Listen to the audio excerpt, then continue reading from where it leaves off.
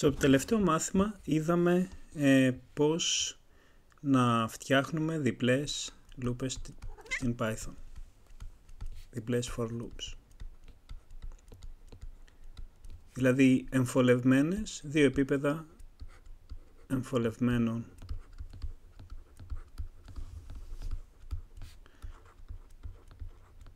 loops.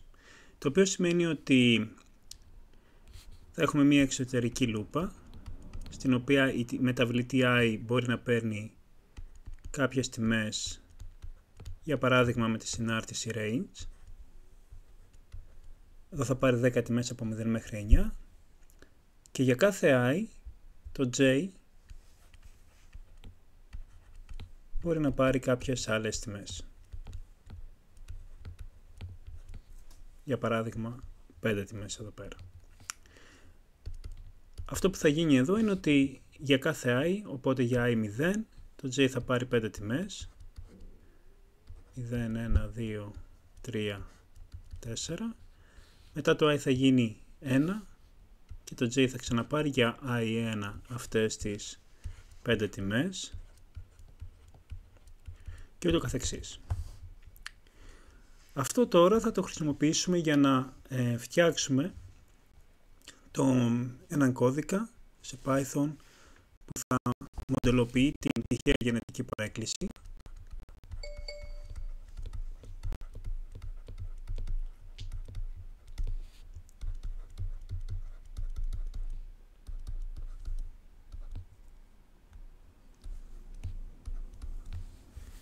ή αλλιώς random genetic drift.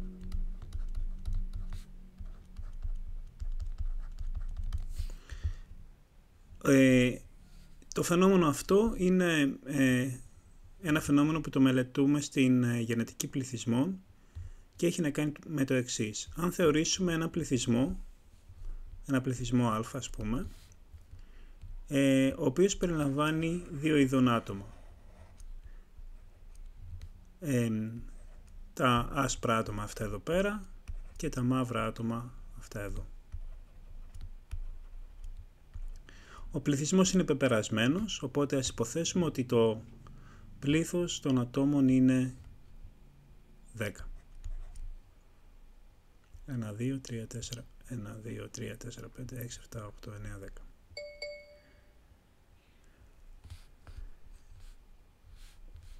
Όταν αυτά τα άτομα, αν υποθέσουμε λοιπόν τα εξής, ότι δεν υπάρχει μετάλλαξη,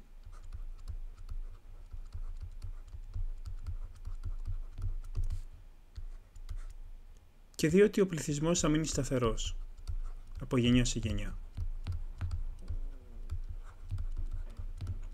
Επίσης θα υποθέσουμε ότι δεν υπάρχει φυσική επιλογή το οποίο σημαίνει ότι στην επόμενη γενιά αν πάρουμε ένα παιδί της επόμενης γενιάς, ένα άτομο της επόμενης γενιάς, τότε η πιθανότητα ε, του ατόμου αυτού να έχει γονέα άσπρο ή μαύρο είναι ανεξάρτητη από το χρώμα, έτσι. Δηλαδή, με την ίδια πιθανότητα θα έχει αυτόν σαν γονέα ή αυτό εδώ το άτομο σαν γονέα. Για να δούμε λοιπόν τώρα και η τέταρτη προϋπόθεση εδώ πέρα είναι ότι οι γενιές είναι, δεν υπάρχει επικάλυψη γενεών. Όχι επικάλυψη. Το οποίο σημαίνει ότι στην επόμενη γενιά, ας την ονομάσουμε αυτή γενιά 1, θα υπάρχουν 10 άτομα πάλι, γιατί είπαμε ότι ο πληθυσμός μένει σταθερός, που τα άτομα αυτά θα είναι παιδιά των ατόμων από εδώ, αλλά δεν θα υπάρχουν γονείς εδώ πέρα. Για να δούμε λοιπόν πώς θα φτιάξουμε τη γενιά 1. Ας υποθέσουμε ότι θέλουμε να φτιάξουμε το άτομο αυτό. Το βάζω σε τετράγωνο τώρα. Γιατί δεν έχω βρει ακόμα αν θα είναι κύκλος ή ε, κύκλος λευκός ή κύκλος μαύρος. Το άτομο αυτό μπορεί να έχει σαν γονέα ένα οποιοδήποτε από αυτά τα άτομα. Οπότε είναι σαν να κλείνουμε τα μάτια και να διαλέγουμε τυχαία ένα άτομο. Για παράδειγμα, ας υποθέσουμε ότι θα είναι αυτό το άτομο εδώ. Επομένως, αφού δεν υπάρχει μετάλλαξη, δεν υπάρχει φυσική επιλογή, δεν υπάρχει τίποτα, το άτομο αυτό θα μοιάζει με το γονιό του, επομένως θα είναι σκούρος κύκλος. Τη διαδικασία αυτή την επαναλαμβάνουμε για όλα τα 10 άτομα που θα υπάρχουν εδώ πέρα και είπαμε ότι θα είναι 10 επειδή ο πληθυσμός παραμένει σταθερός. Άρα λοιπόν για το άτομο εδώ διαλέγουμε στην τύχη ένα άτομο. Για παράδειγμα μπορεί να διαλέξουμε αυτό πάλι. Άρα το δεύτερο άτομο είναι αυτό. Το τρίτο άτομο τώρα μπορεί να είναι πάλι τυχαία ένα άτομο, πάλι μπορεί να είναι αυτό, αλλά μπορεί να τύχει αυτό. Και ούτω καθεξής, έτσι θα πάρουμε τυχαία άτομα από την προηγούμενη γενιά.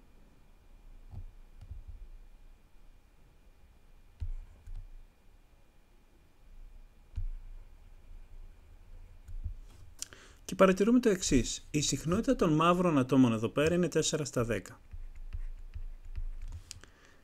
Η συχνότητα των μαύρων ατόμων εδώ πέρα είναι 5 στα 10. Η διαφοροποίηση αυτή σε μία γενιά μέσα δεν έχει να κάνει ούτε με φυσική επιλογή, δεν σημαίνει δηλαδή ότι τα μαύρα είναι καλύτερα από τα άσπρα, γι' αυτό αυξήθηκε η συχνότητά τους, ούτε με κάτι άλλο, ούτε εξαιτίας της μετάλλαξης. Έχει να κάνει μόνο με τη διαδικασία δειγματοληψίας σε έναν σταθερό πληθυσμό, σε έναν πεπερασμένο πληθυσμό καλύτερα. Επειδή κάποιο άτομο μπορεί να αφήσει δύο απογόνους, όπως αυτό το άτομο εδώ πέρα, για παράδειγμα, έχει αφήσει απόγονο αυτό και αυτόν σίγουρα, και κάποια άλλα άτομα μπορεί να μην αφήσουν απογόνους, τότε ε, είναι πιθανόν η συχνότητα ενός από τους δύο αλληλομόρφους να αλλάξει. Αυτή η διαδικασία θα συνεχιστεί ως ότου είτε όλα τα άτομα να γίνουν μαύρα και τα 10 είτε όλα τα άτομα να γίνουν λευκά. Σίγουρα θα γίνει ένα από τα δύο επειδή ε, και όταν γίνει, όταν γίνει ένα από τα δύο τότε από εδώ και πέρα θα έχουμε μόνο μαύρα άτομα ή μόνο λευκά άτομα, εφόσον δεν έχουμε μεταλλάξεις. Πάμε λοιπόν να το δούμε πώς θα το κάνουμε αυτό σε κώδικα. Το πρώτο πράγμα που μπορούμε να σκεφτούμε είναι πόσα άτομα θα έχει ο πληθυσμός. Άρα χρησιμοποιούμε μία μεταβλητή n που θα κρατάει τα άτομα του πληθυσμού, το πλήθος των ατόμων, έτσι. Πλήθος ατόμων. Ας υποθέσουμε ότι είναι 10, 100 όσο θέλουμε. Το πρώτο ερώτημα είναι πώς, πού θα κρατήσουμε την πληροφορία του πληθυσμού και τι πληροφορία θα κρατήσουμε. Εδώ βλέπουμε ότι το κάθε άτομο είναι άσπρο ή μαύρο ή αλλιώς το κάθε άτομο αντιπροσωπεύεται μόνο από ένα αλληλόμορφο, τον άσπρο αλληλόμορφο ή το μαύρο αλληλόμορφο. Δηλαδή ξεχνάμε το γεγονός ότι ένα άτομο μπορεί να έχει ένα ολόκληρο γονιδίωμα, να είναι ένας πολύπλοκος οργανισμός κτλ. Για μας το κάθε άτομο, η κάθε οντότητα είναι, ε, φέρει απλά ένα αλληλόμορφο. Στην ουσία δηλαδή μελετάμε την εξέλιξη της ε, αλληλικής συχνότητας. Ωραία. Εφόσον λοιπόν υπάρχουν δύο αλληλόμορφα, αυτό που μας βολεύει να κάνουμε είναι τον ένα αλληλόμορφο να τον αναπαραστήσουμε με την τιμή 0 και τον άλλο αλληλόμορφο να τον αναπαραστήσουμε με την τιμή 1. Αν κάνουμε αυτό, τότε ο αρχικός μας πληθυσμός εδώ πέρα δεν είναι τίποτα άλλο παρά μία λίστα από 0 και 1. Για παράδειγμα, η λίστα αυτή.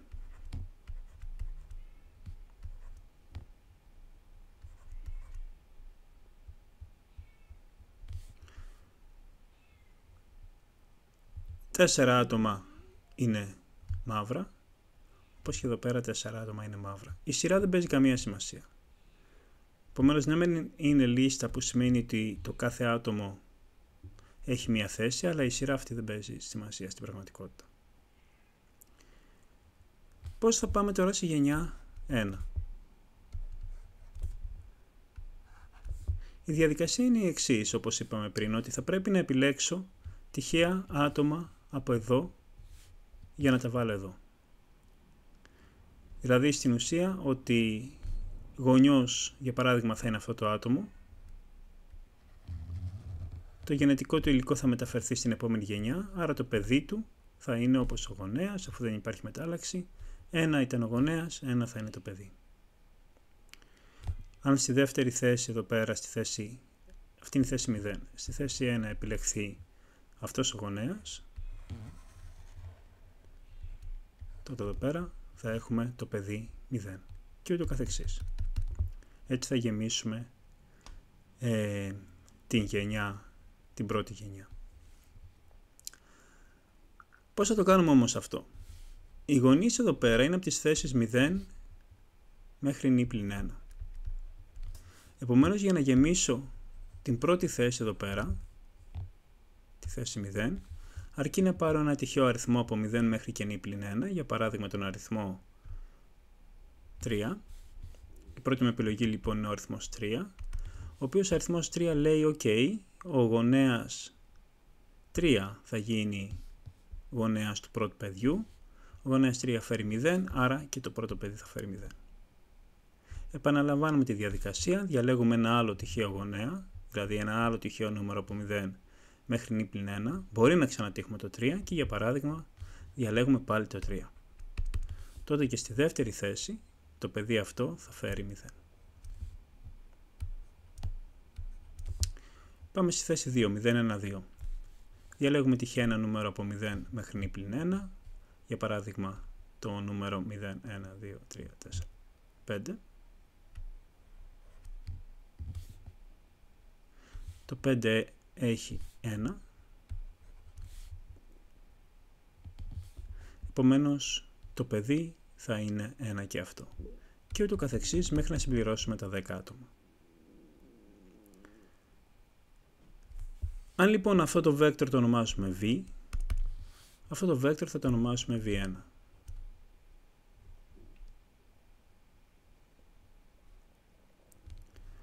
Τώρα, αυτή η γενιά είναι η 0, αυτή η γενιά είναι η 1. Για να πάμε στη 2 γενιά τώρα, θα πρέπει να διαλέξουμε από εδώ γονείς για να φτιάξουμε τα παιδιά.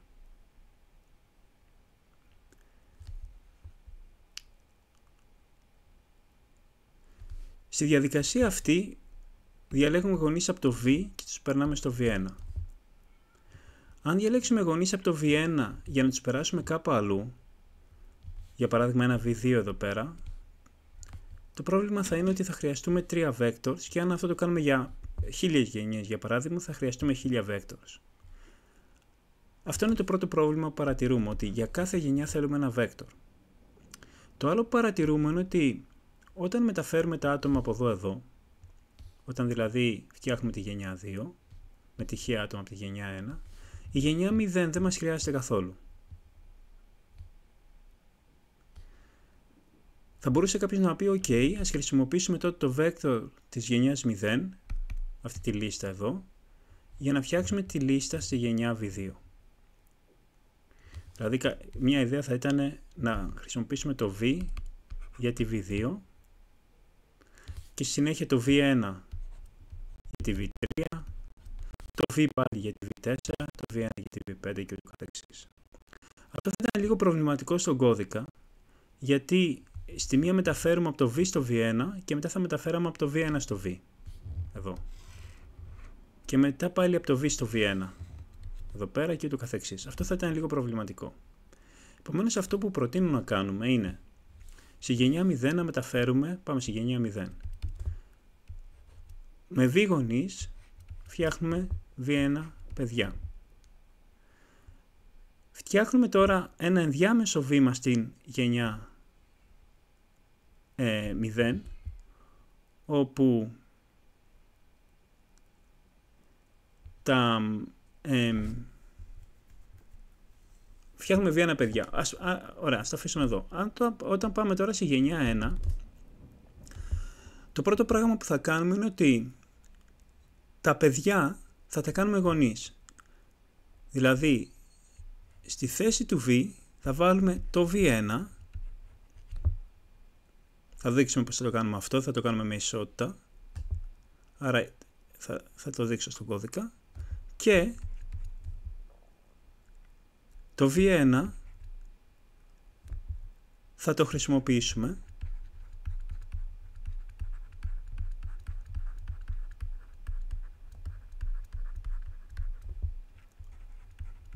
ώστε να μεταφέρουμε πάλι τα παιδιά του V.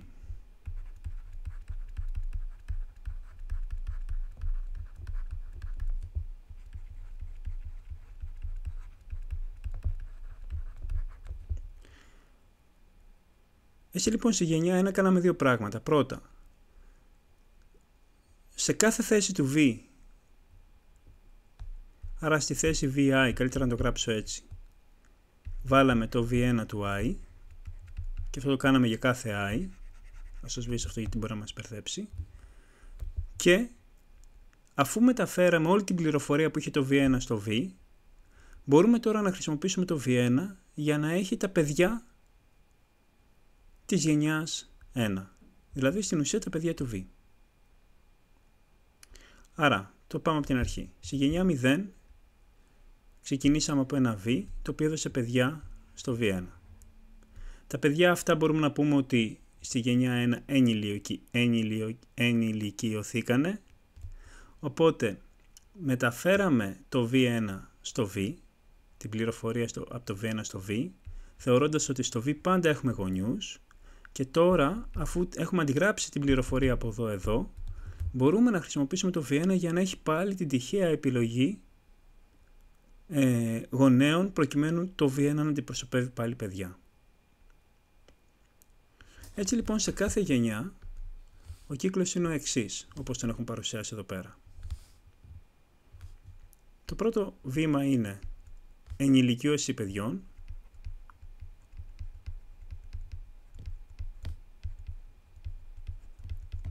το οποίο σημαίνει κατασκευή του V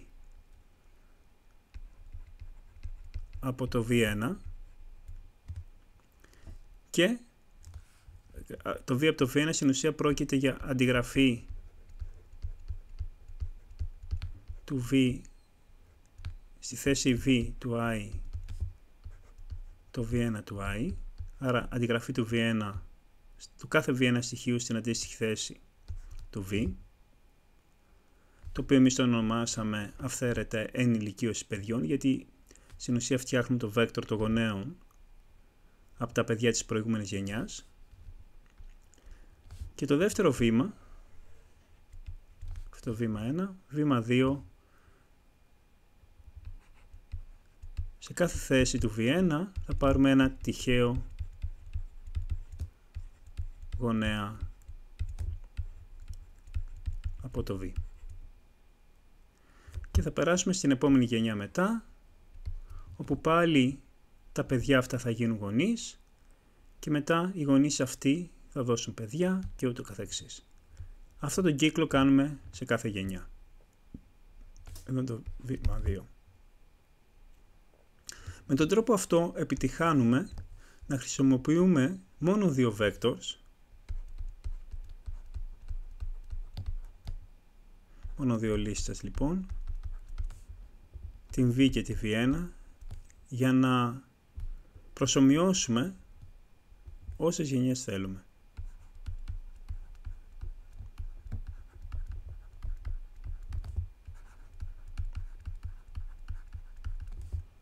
Έτσι λοιπόν αν ο πληθυσμός μας είναι n, η λίστα αυτή έχει ε, n στοιχεία, η λίστα αυτή έχει n στοιχεία, επομένως ο χώρος που θα απαιτείται, η μνήμη δηλαδή που θα απαιτείται για τον αλγόριθμο είναι περίπου της τάξης 2n.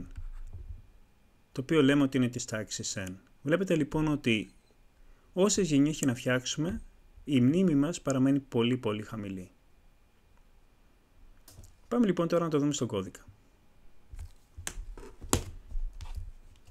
Θα ακολουθήσουμε στο χαρτί ακριβώς αυτό που είπαμε στον κώδικα. Θέλουμε λοιπόν ένα πληθυσμό n που ας υποθέσουμε ότι θα είναι 100 άτομα. Θέλουμε την κατασκευή ενός vector v, το οποίο τώρα θα μπορούσα απλά να το γράψω κάπως έτσι, αλλά το πρόβλημα με αυτό είναι ότι θα πρέπει να βάλω 100 στοιχεία. Και αν είναι 1000 το μέγεθος θα πρέπει να βάζω 1000 στοιχεία εδώ πέρα. Πρέπει να σκεφτώ μια άλλη διαδικασία. Η διαδικασία αυτή μπορεί να είναι η εξής.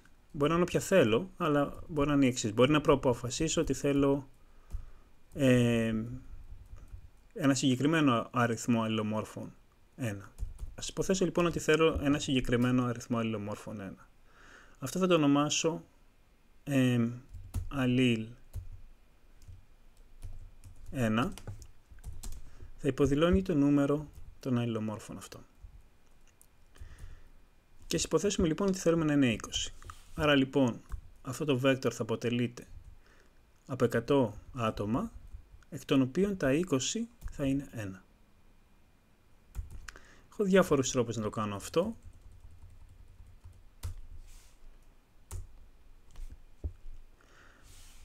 Αλλά ας σκεφτούμε πρώτα κάτι άλλο. Το άλλο που θέλω να σκεφτούμε είναι ότι οι θέσεις των ατόμων αυτών των 20 δεν παίζουν καμία σημασία. Είτε τα βάλω τα πρώτα 20 να είναι 1 και τα υπόλοιπα 80 0, είτε τα πρώτα 80 ε, να είναι 1 και τα υπόλοιπα 21, είτε να είναι ανακατεμένα, δεν παίζει καμία σημασία. Το πρώτο πράγμα που θα πρέπει να διασφαλίσω είναι ότι το α1, το πλήθος των αλληλομόρφων 1, είναι μικρότερο από το συνολικό αριθμό των ατόμων. Αλλά μπορώ να γράψω εδώ πέρα μια συνθήκη if. If α1 μεγαλύτερο του νη να μου τυπώσει ένα μήνυμα λάθους. Print. Al1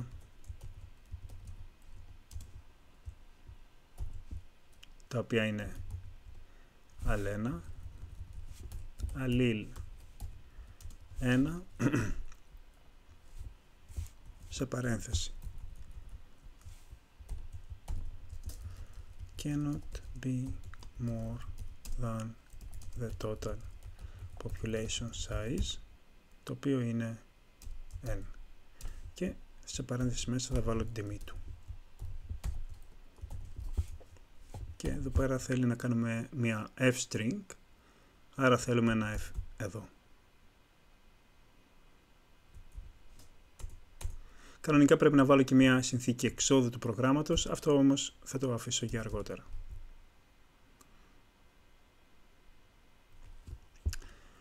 Για να δούμε λοιπόν παρακάτω τι γίνεται. Είπαμε ότι οι πρώτες ε, θέσεις θέλουμε, μάλλον όπου θα βάλουμε τα στοιχεία του αλληλομόρφου 1 δεν παίζει καμία σημασία. Επομένως μπορώ να τα βάλω στην αρχή. Ας φτιάξω λοιπόν μια for loop, for i in range m al1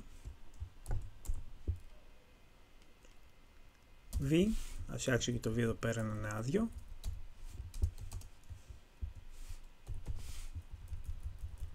v append 1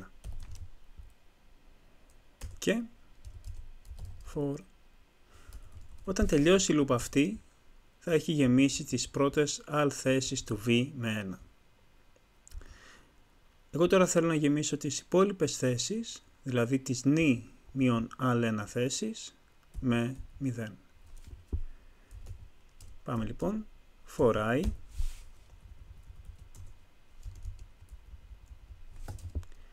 in range.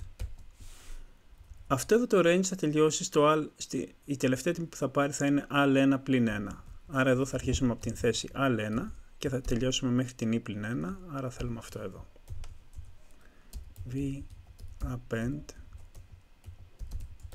το 0. Με αυτόν τον τρόπο λοιπόν έχουμε γεμίσει το vector v με τιμές.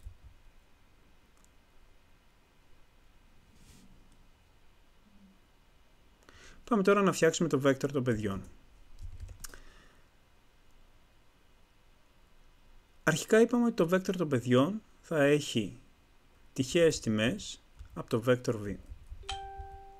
Επομένως μπορούμε να κάνουμε το εξής. Θα θέλουμε μία συνάρτηση η οποία να μας επιστρέφει τυχαίες θέσεις από 0 μέχρι νη πλην 1.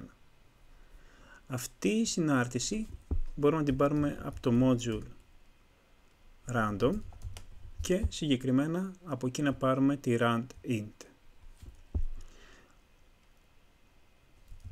Η random rand int συνάρτηση, θα το βάλω σε σχόλιο εδώ πέρα, παίρνει δύο ορίσματα, έναν αριθμό α και ένα αριθμό β και μας επιστρέφει ακεραίους από α μέχρι και β. Έτσι λοιπόν, μπορώ να γράψω μία λούπα for i in range n στην οποία λούπα θα κατασκευάσω το vector v1 όπως είπαμε στο χαρτί. Κάθε λοιπόν στοιχείο του v1 δηλαδή κάθε i παιδί θα πρέπει να προέρχεται τυχαία από έναν τυχαίο γονιό του v. Δηλαδή θα πρέπει πρώτα να πάρω την θέση του γονέα, που είναι ένας τυχαίος αριθμός από 0 μέχρι νη 1. Άρα λοιπόν ας το ονομάσω αυτό τυχαία, τυχαίος γονέας, θα είναι random randint 0 μέχρι νη 1. Εδώ και το 0 και το νη 1 συμπεριλαμβάνονται. Και το v1 του i, δηλαδή το i παιδί, δεν θα είναι τίποτα άλλο παρά το v στη θέση τυχαίως. Για να δούμε σαν παράδειγμα. Το i λοιπόν θα πάρει τιμές διαδοχικά από 0 μέχρι νη 1. Στην πρώτη φορά θα πάρει τιμή 0. Ο τυχαίος θα είναι ένας, ένας τυχαίος ακέραιος από 0 μέχρι νη 1. Υποθέσουμε ότι θα είναι το 5. Και εμείς θα πούμε εδώ πέρα το πρώτο παιδί, δηλαδή v1 του 0, γιατί είπαμε ότι είμαστε στον πρώτο κύκλο, v1 0, θα είναι v του 5, δηλαδή θα είναι ο έκτος γονέας. Το i μετά θα γίνει 1, πάλι θα πάρουμε ένα άλλο τυχαίο αριθμό από 0 μέχρι νη 1 και αφού το i είναι 1, v1 του 1, δηλαδή το δεύτερο παιδί, θα είναι v του τυχαίου γονέα αυτού. Το τυχαίο αυτό μπορεί να είναι το 3, άρα αν είναι το 3 θα είναι v του 3. Και θα φτιάξουμε έτσι και το v1. Ωραία. Αυτό, αυτή όλη η δουλειά ήταν για τη γενιά 0. Από τη γενιά 1 τώρα και μετά τα πράγματα είναι λίγο πιο απλά. Για να δούμε. Από τη γενιά 1 και μετά τα πράγματα που θα κάνουμε από τη γενιά 1 και μετά θα είναι τα ίδια. Δηλαδή, ό,τι κάνουμε στη γενιά 1 θα κάνουμε και στη 2, θα κάνουμε και στη 3, θα κάνουμε στη 4 κτλ. Συγγνώμη, εδώ υπάρχει ένα λάθος. Δεν θέλουμε v1 του i να είναι v τυχαίου. Και ο λόγος είναι το v1 δεν έχει ακόμα τιμές. Είναι ένα άδειο βέκτορ που δεν το έχω καν ορίσει βασικά. Το ορίζω λοιπόν εδώ. Το πρόβλημα τώρα είναι ότι το v1 του i είναι ένα τυχαίο, ένα άδειο βέκτορ, επομένως δεν μπορώ να πω v1 του i, θα πρέπει να πω να κάνω append v1 append αυτό εδώ. Άρα αυτός ο κώδικας και αυτός είναι μόνο για την γενιά 0. Και τη γενιά 0 λοιπόν έφτιαξα τους γονείς και τα παιδιά τους. Ο λόγος ότι αυτό ισχύει μόνο για τη γενιά 0 είναι ότι στη γενιά 0 το v και το v1 είναι άδεια και πρέπει να χρησιμοποιήσω την append ώστε να τα γεμίσω. Από τη γενιά 1 και μετά δεν χρειάζεται να χρησιμοποιήσω την append γιατί τόσο το v όσο και το v1 έχουν τιμές. Επομένως το μόνο που θα κάνω από τη γενιά 1 και μετά είναι να αλλάζω τιμές στο v και στο v1. Θέλω λοιπόν τη διαδικασία αυτή να την επαναλάβω για ένα πλήθος γενεών. Ας υποθέσω ότι το πλήθος γενεών αυτό έχει καταχωρηθεί στη μεταβλητή generations και ας υποθέσουμε ότι αυτό είναι ίσο με 200. Και για κάθε τέτοια γενιά, for g λοιπόν, ας υποθέσουμε ότι είναι η κάθε γενιά in generations, in range generations. Το g λοιπόν θα πάρει τιμές τώρα από 0 μέχρι και 199, αλλά επειδή εμείς θέλουμε στην ουσία να αναφερόμαστε από τη γενιά 1 μέχρι και τη 200, θα το κάνουμε αυτό να είναι 1 μέχρι generations μέχρι την ε, 199 και μαζί με τη 0 που έχουμε πάρει εδώ πέρα θα έχουμε συνολικά 200. Από την 1 γενιά λοιπόν θα κάνουμε το εξής. Όπως είπαμε εδώ πέρα, το πρώτο πράγμα που θέλουμε είναι να κάνουμε την ενηλικίωση των παιδιών. Δηλαδή, στη θέση του V, στη θέση I του V να βάλουμε την τιμή I από το V1. Άρα λοιπόν, for I in range n, V1, V του I ίσον V1 του I.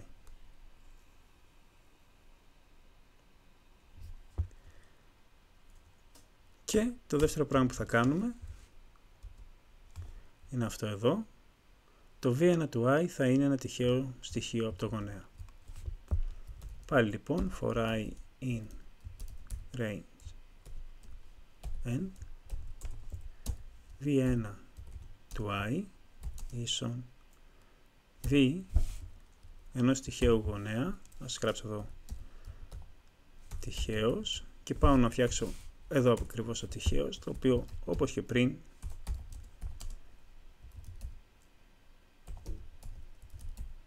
θα είναι το αποτέλεσμα της συνάρτησης randint από 0 μέχρι νη πλην 1.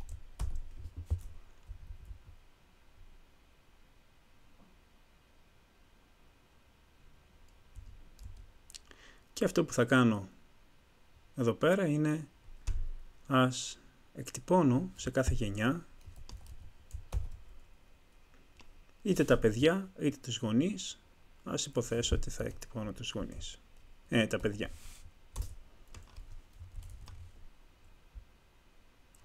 Για να δούμε λοιπόν πως τρέχει αυτός ο κώδικας. Ας αρχίσουμε πιο μικρό πλήθος ατόμων ας βάλω 30 και ας το βάλω αυτό να είναι 15. Άρα έχουμε 30 άτομα, 15 είναι αλληλ 1, δηλαδή το 50% των ατόμων έχουν τον αλληλόμορφο 1.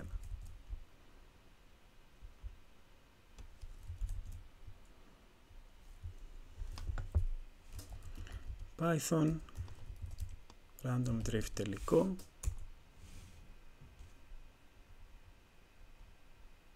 Για να δούμε πώς αρχίζει αυτό.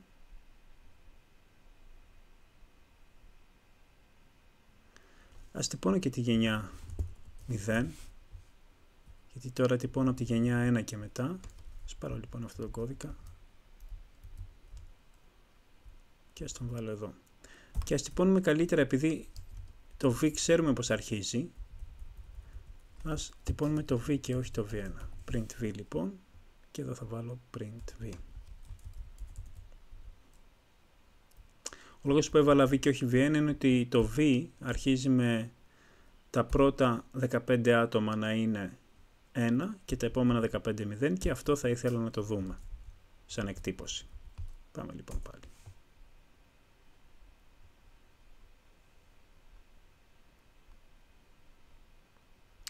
Εδώ λοιπόν τα πρώτα 15 άτομα είναι με το 1 αλληλόμορφο και τα επόμενα είναι με το 0 αλληλόμορφο.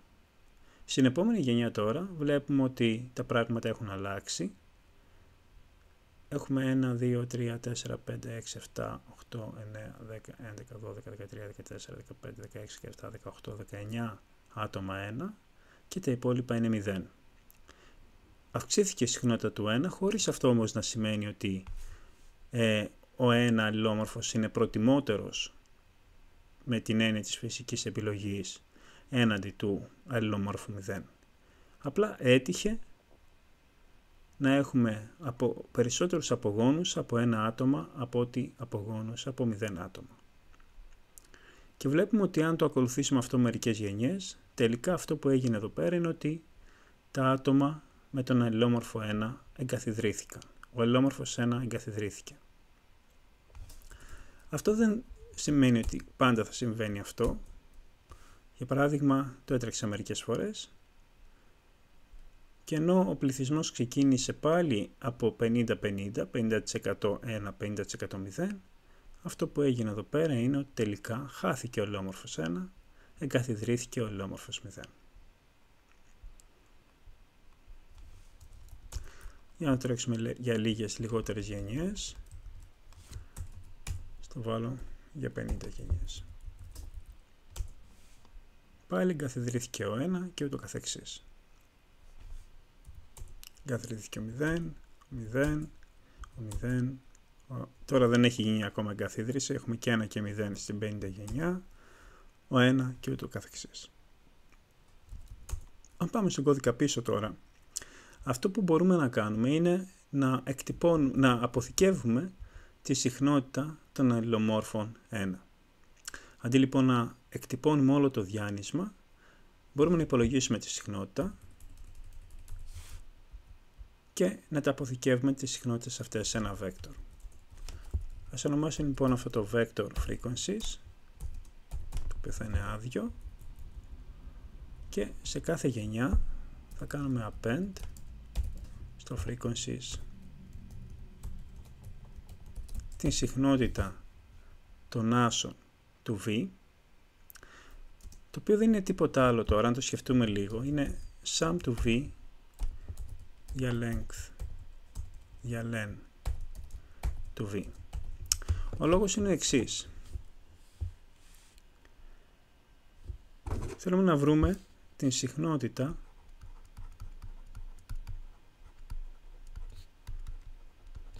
των αλληλομόρφων 1. Και έχουμε ένα vector v το οποίο είναι κάπως έτσι. Έχει δηλαδή 0 και 1 μέσα. Για να βρω τη συχνότητα των 1 θα πρέπει να βρω το πλήθος των 1 που είναι 3 εδώ πέρα και να διαιρέσω με το πλήθος όλων των στοιχείων. Άρα λοιπόν έχουμε πλήθος 1 προς πλήθος στοιχείου.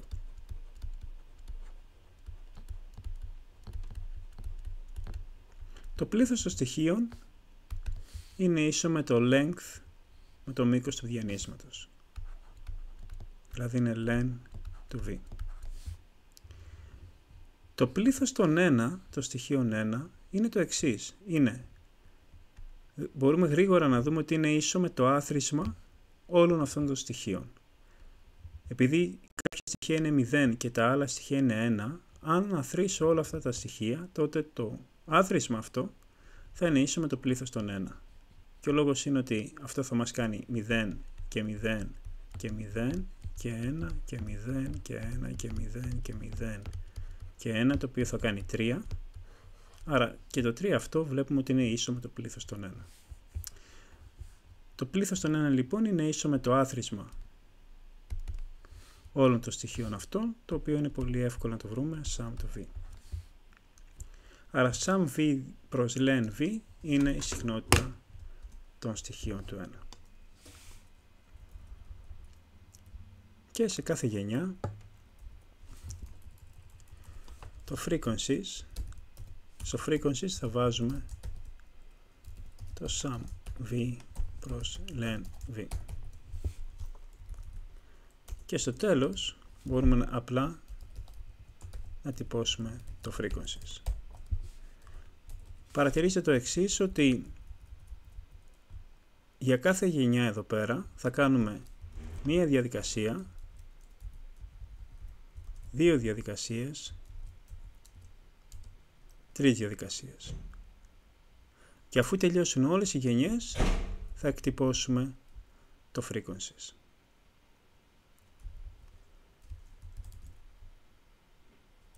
Για να γράψουμε τις διαδικασίες αυτές να μην τις ξεχνάμε. Το πρώτο πράγμα είναι ενηλικίωση παιδιών, και μετά θα είναι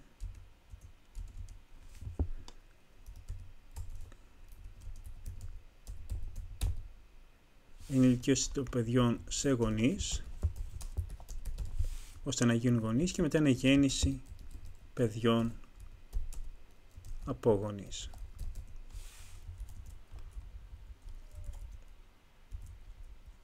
Τρέχω λοιπόν τον κώδικα και παίρνω τις εξής συχνότητες. Αρχίζω στο 0,5, 50% και αυτό είναι κάτι που το ξέρουμε γιατί εμείς φτιάξαμε το vector να είναι τα μισά 1 και τα άλλα μισά 0 και έχουμε αυτές τις συχνότητες όπου κάποια στιγμή εδώ πέρα όλα γίνονται 1 γιατί η τελική συχνότητα των άσων είναι 0, είναι 1.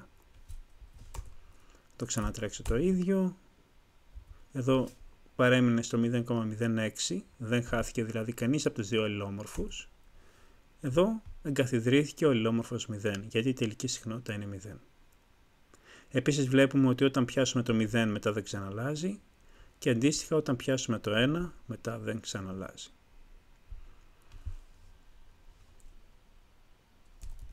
Τώρα, αυτές οι συχνότητες μπορούμε και να τις κάνουμε γράφημα.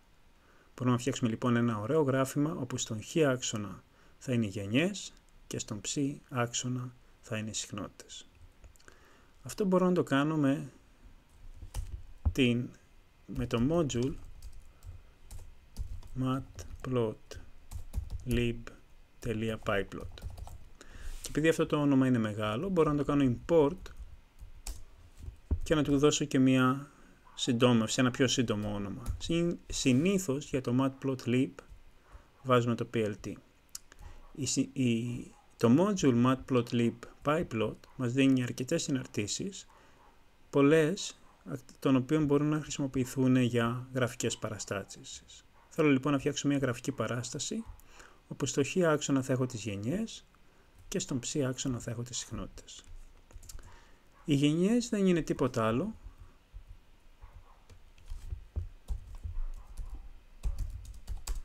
παρά μια λίστα η οποία καθορίζεται από τον συνολικό πλήθος γενεών που θέλω να τρέξω την προσωμείωση. Από το generations επομένως.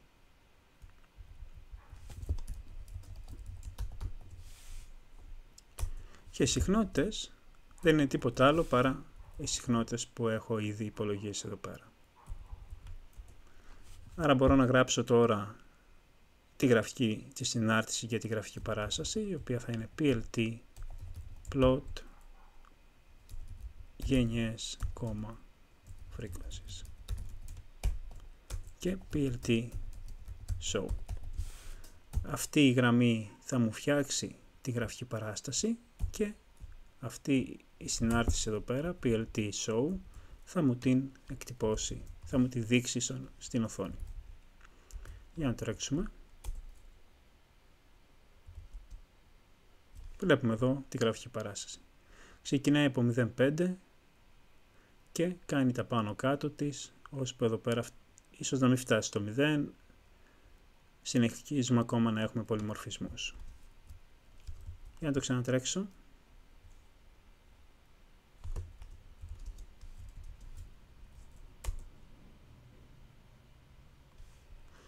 τώρα βλέπουμε ότι κατέβηκε λίγο από το 0,5 στο 0,4 και στη συνέχεια πήγε στο 1.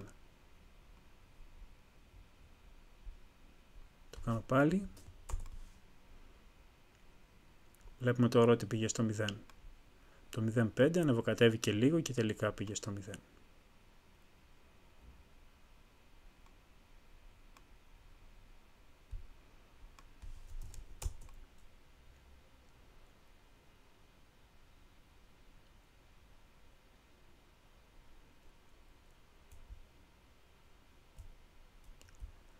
Πολύ ωραία. Αυτός λοιπόν ήταν ο κώδικας για την τυχαία γενετική παρέκκληση. Για να δούμε μερικά έτσι ενδιαφέροντα στοιχεία της τυχαίας γενετικής παρέκκλησης.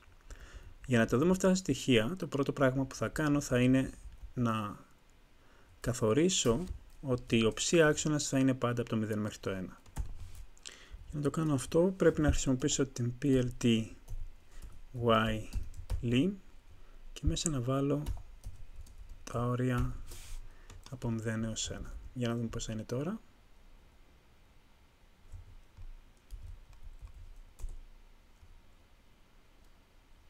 Βλέπουμε ότι ο άξονας του είναι πάντα από 0 μέχρι 1, ξεκινάει από το 0,5 και τελικά χάνεται.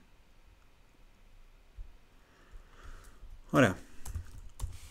Αυτό που θέλω να δούμε είναι τι γίνεται αν αυξήσω το μέγεθος του πληθυσμού. Αν αυτό το 30 το κάνω για παράδειγμα 300. Και ας το πάμε πάλι στη μέση, 150. Αν θέλω να το κάνω πάντα στη μέση, τότε μπορώ να κάνω άλλο ένα ίσον n δια 2.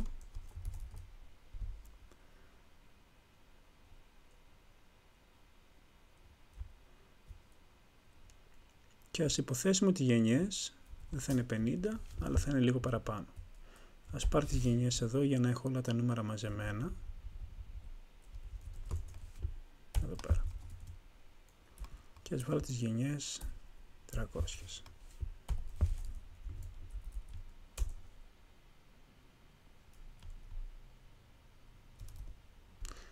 Θα πρέπει να το κάνω integer αυτό.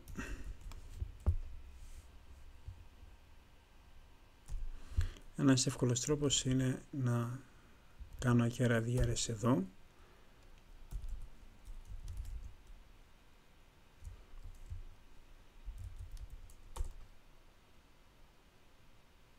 Ωραία. Πάρει από το 0,5 και έκανε τα πάνω κάτω του. Βλέπουμε όμως τώρα ότι τα πάνω κάτω αυτά δεν είναι τόσο ακραία όσο ήταν όταν ο πληθυσμός ήταν 30. Για να το μεγαλώσουμε κι άλλο. Το κάνω 300, να το κάνω 3.000 άτομα. Αυτό τώρα θα γίνει 1500 και αυτό θα τρέξουμε για 3.000 γενιές. Παίρνει παραπάνω ώρα προφανώς.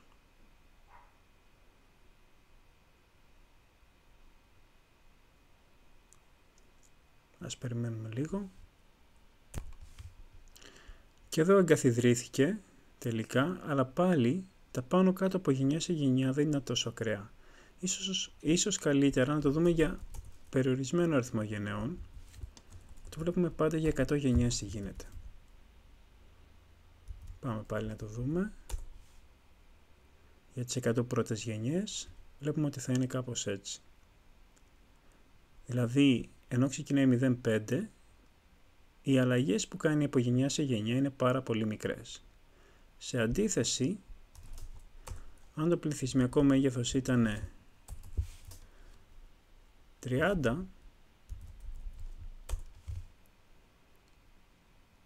αυτό που κάνει από γενιά σε γενιά είναι πολύ πιο ευρύ. Οι αλλαγές συχνότητας, το αλληλομόρφο 1 από γενιά σε γενιά είναι πολύ μεγαλύτερες. Έτσι, να ξαναδούμε, να βάλω 5.000 ξέρω εγώ.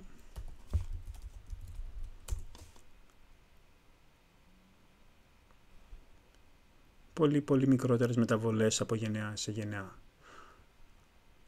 Αυτός είναι ο λόγος που λέμε ότι η τυχαία γενετική παρέκκληση γίνεται πιο ασθενής όσο μεγαλώνει το μέγεθος του πληθυσμού.